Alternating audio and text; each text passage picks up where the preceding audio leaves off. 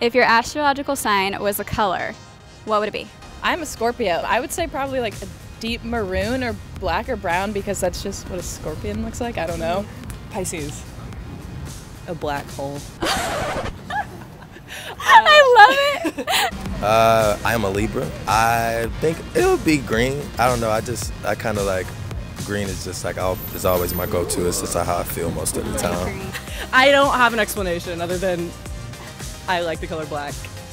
Tall, dark, and mysterious. That's right. It's I'm into it. Um, so it's Cancer. Maybe it's a boring answer, like navy blue. I just feel like we're very calm. So I'm a Libra, and I think definitely pink.